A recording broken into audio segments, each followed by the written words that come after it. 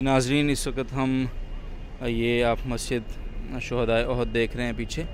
हम यहाँ पे पहुँच चुके हैं अल्हम्दुलिल्लाह। मुसलमानों की हिफाजत मदीना से अहम थी।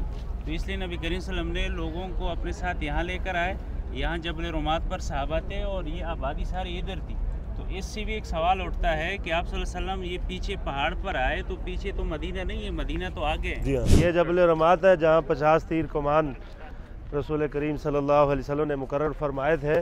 फरीद रज़ी अल्लाह ताला अन्हु ने तीन दफ़ा कोशिश की कि जब जंग चल रही थी कि यहाँ से घूम करें लेकिन ये लोग यहाँ पर साहब कराम थे इस वजह से वो कामयाब नहीं हो सके। इसकी बाउंड्री वॉल वहाँ से शुरू होती है और यहाँ कुछ हिदायत के बोर्ड आपको नज़र आएँगे ये मेन गेट है और फिर यूँ घूमते हुए ये पूरा अहाता ये शहदाय अहद का कब्रिस्तान है।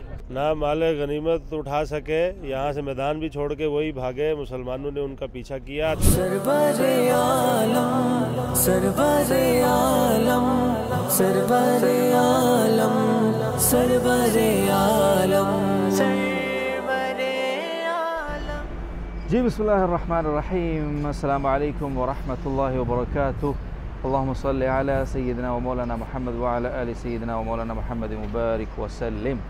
ज़ियारत मदीना का सिलसिला है, नाजर मोहतरम, आज बहुत ही मुबारक जगह के ऊपर इंशाल्लाह हम जा रहे हैं। वो है जनाब गजवा अहद और मकाम अहद के ऊपर। हमारे साथ जामिद रशीद के इस का काफ़िला है, बल्कि हम उनके साथ हैं, जो भी आप कह लें। तो इन आपको साथ लेकर चलेंगे इन जी, अल्हम्दुलिल्लाह, ये आप जो सामने पहाड़ देख रहे हैं, ये जबल अहद है, जो हमें यहाँ दूर से नज़र आ रहा है। और इंशाल्लाह बस कुछ ही देर में हम यहाँ पे पहुँचने वाले हैं और इस पहाड़ को देखकर नबी करीम सल्लल्लाहु अलैहि वसल्लम ने इरशाद फरमाया, बुखारी की हदीस है, हज़रत अनस रज़ी अल्लाह अन्हु से रिवायत है कि अहद पहाड़ की जानब हजूर ने इशारा करके फरमाया कि ये अहद पहाड़ है और हम, मुझे इससे मोहब्बत है और इसे हमसे मोहब्बत है।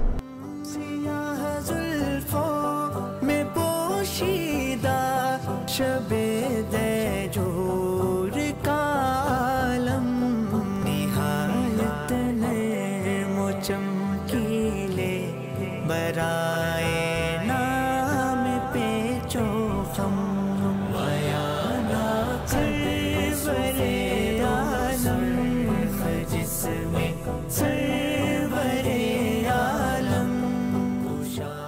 नाजरीन, इस वक्त हम ये आप मस्जिद शहदाय अहद देख रहे हैं पीछे।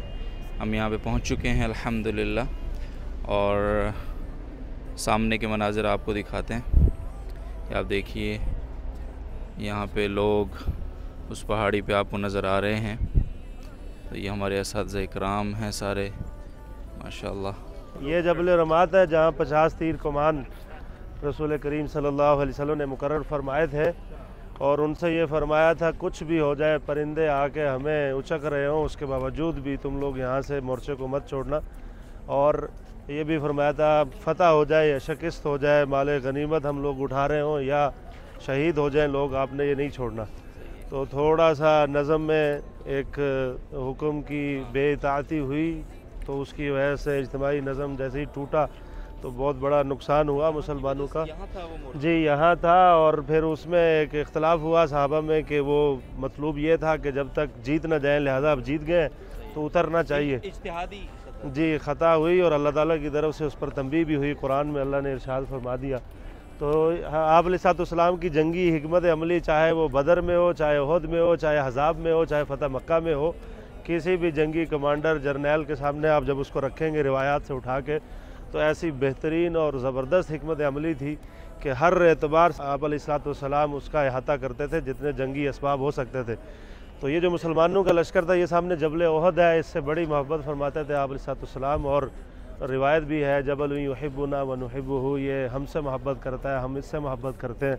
और जब मदीना तशरीफ़ लाते थे और ये नज़र आना शुरू होता था तो सवारी को तेज़ फरमा देते थे और अपनी रफ्तार तेज़ फरमा लेते थे।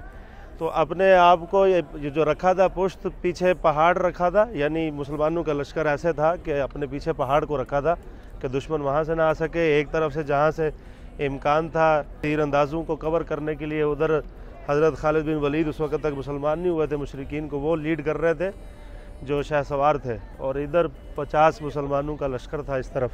तो शुरू में तो जो पहला हल्ला हुआ, ये आमतौर पर कहा जाता है कि मुसलमानों को शिकस्त होगी थी, ऐसा नहीं है। गजवा बदर में सत्तर लोग मारे गए थे, कुफार चौदह मुसलमान शहीद हुए थे। इसमें गजवा अहद में जो मुबारजा हुआ पहले तो दस लोग उनके आए जो इनफरादी चैलेंज देते थे, दस के दस लोग मारे गए वो। वो छः एक ही ख़ानदान के मारे गए, हज़रत अली भी थे, दीगर साहबा भी जो लड़े, बड़ी बहादरी से। तो मुबारजे में मुसलमान जीते। पहले हल्ले में जो घमसान की जंग पड़ी, पहला हल्ला जब इज्तमाही हुआ, उसमें भी मुसलमान जीते, अल्हम्दुलिल्लाह, और उसमें अगरचे मुसलमान शहीद हुए, लेकिन 40 कुफार भी मारे गए। यानी 40 वो मारे गए 70 मुसलमान शहीद हुए। बदर के मुकाबले में देखें तो 14 मुसलमान शहीद हुए थे, जबकि ये 40 मुर्दार हुए। तीसरे हल्ले में, जहाँ पर थोड़ा सा ख़ता हुई साहब कराम से और वो छोड़ दिया अपना मुकाम और उनको मौका मिल गया तो उसके अंदर मुसलमानों को नुकसान हुआ। लेकिन उसके बावजूद रसूल करीम अलैहि वसल्लम ने और साहबा ने फिर इस लश्कर का पीछा भी किया। ये जब चले गए यहाँ से तो फिर इनको पैगाम भेजा कि हम तुम्हारे पीछे आ रहे हैं। तो फिर ये वहाँ से सरपट दौड़े। तो नुकसान हुआ इस जंग में, बिलाशुबा हुआ, लेकिन ये कहना कि मुसलमानों को शिकस्त हुई, ये तारीख़ी एतबार से और आदाद के अतबार से ये दुरुस्त नहीं है। चाहे वो मुबारजे की जंग हो या आम जंग हो या बाद में फिर जो पीछा उसके करने के लिए गए मुसलमान, उसकी हद तक भी। तो ये वो जबल रमाद की वो वो है जगह जहाँ पर पचास तीर कमान थे। जो दस्ता आया था जी। इस तरफ़ से आया साजी इस तरफ़ से आया इस तरफ़ से आया घूम के आया ना यहाँ पहाड़ तो यहाँ पहाड़ नहीं। सर ऐसे था कि मुसलमानों का जो लश्कर इस जगह पर था और कुफार इस तरफ़ थे। जी। तो फिर इधर से मतलब मुसलमान यहाँ पर थे और यहाँ पर सामने कुफार का लश्कर था। खालिद बिन वलीद फिर वहाँ से घूमकर पीछे से आकर इधर मुसलमानों पर अपने आप के पीछे तो पहाड़ को रखा था ना अबलीसलाम ने। तो एक साइड बचती थी यही दाएँ साइड के इधर से आ सकते हैं। और इसी को कवर किया था। जो पहले दो जो पड़े ना, जो मुबारजा हुआ या जंग हुई, उसमें इन्होंने कवर किया। उसमें तो शिकस्त हो गई, बाकायदा खैमे भी उखड़ गए, पीछे होना, हटना शुरू हुए। फिर हज़रत खालिद बिन वलीद रज़ी तो बड़े लीडर भी थे कमांडर भी थे। उन्होंने कहा, नहीं, अभी हम इसमें देख सकते हैं। तो जैसे ही देखा कि ये खाली हुई है चटान और ये पचास तीर कमान उतर गए, दस रुके थे इनमें से, बाकी नीचे उतर गए थे, वो सब के सब शहीद भी हुए। मेरा ख्याल दो उनमें से बचे थे। तो जैसे ही देखा, ये खाली हुआ है मुकाम तो पीछे से आके फिर हमला हो रही कराम ने है नबी करीम वसल्लम ने ओहद के पहाड़ अपने पुश्त पे लिया। सारी आबादी कुल ही छोड़ दी। तो इसमें एक जंगी हिकमत है। वो हिकमत ये है कि मुसलमानों की हिफाजत मदीना से अहम थी। तो इसलिए नबी करीम वसल्लम ने लोगों को अपने साथ यहाँ लेकर आए। यहाँ जबल रुमात पर साहबा थे और ये आबादी सारी इधर थी। तो इससे भी एक सवाल उठता है कि आप सल्लल्लाहु अलैहि वसल्लम ये पीछे पहाड़ पर आए तो पीछे तो मदीना नहीं है मदीना तो आगे है। हाँ। लेकिन इसमें ये सीरत के हजरात ने लिखा है। मुसलमानों का जो पुष्ट थी इस तरफ़ थी। मुसलमानों की पुष्ट इस तरफ़ थी और जो है इस तरफ़ मुशकिन थे इस तरफ़ से। और मुसलमान इस तरफ़ से थे। तो यहाँ से फिर खालिद वलीद रज़ी अल्लाह अन्हु ने तीन दफ़ा कोशिश की कि जब जंग चल रही थी कि यहाँ से घूम करें लेकिन ये लोग यहाँ पर साहब कराम थे इस वजह से वो कामयाब नहीं हो सके। लेकिन फिर जब उन्होंने देखा कि पहाड़ खाली हो चुका है फिर वो यहाँ से घूम कर आए और मुसलमानों को पुष्ट से हमला किया। तो ये जो कंपाउंड है, इसकी बाउंड्री वॉल वहाँ से शुरू होती है और यहाँ कुछ हिदायत के बोर्ड आपको नज़र आएँगे। ये मेन गेट है और फिर यूँ घूमते हुए ये पूरा अहाता ये शहदाय अहद का कब्रिस्तान है और यहाँ पे जहाँ वो कबूतर आपको नज़र आ रहे हैं और सेंटर में एक कंपाउंड है, ब्लैक कलर की, आपको कुछ ईंटें वहाँ पे नज़र आ रही होंगी।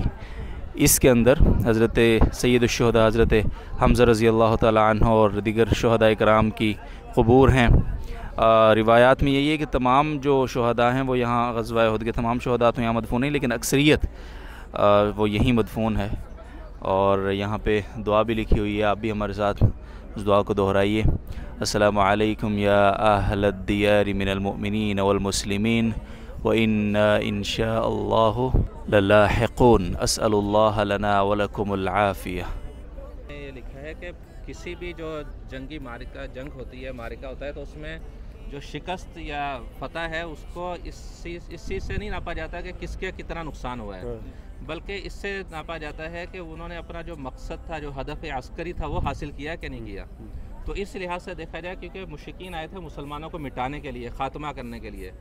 तो इस अगर हदफ को देखा जाए तो मुशिकिन जो इस हदफ में नाकाम होकर गए वापस। तो इस वजह से तो ये ये कहना कि मुसलमानों की इस मार्के में शिकस्त हुई है तो ये गलत है। ना माल गनीमत उठा सके, यहाँ से मैदान भी छोड़ के वही भागे। मुसलमानों ने उनका पीछा किया। तीन राउंड जो जंग के थे, मुबारजे का था, दरमियान में जो आम जंग का था और फिर जो उनके पीछे तो दो राउंड में तो वाज तौर पर मुसलमान जीते। दरमियान में भी चालीस उनके मारे गए। सत्तर मुसलमान शहीद हुए। ये अब यहाँ से नज़र आएगा, ये जो यहाँ से वो सामने जो पहाड़ है, उसके नीचे बाकायदा दराड़ है, बड़ी सारी बंदा यानी गुजर सकते हैं वहाँ से। अभी इन्होंने सीमेंट वगैरह लगा के उसको बंद कर दिया, लोग बहुत जाते थे, कह रहे हाजी, जख्मी भी होते थे, ऊपर चढ़ते थे। और नीचे भी जंगला लगा के उसको बंद कर दिया। और वहाँ फिर जब ये चले गए थे कुफार का लश्कर तो आप सलाम ने वहाँ नमाज़ भी अदा फरमाई, वो जगह महफूज है। मुसल्ला भी आप सलाम को महफूज है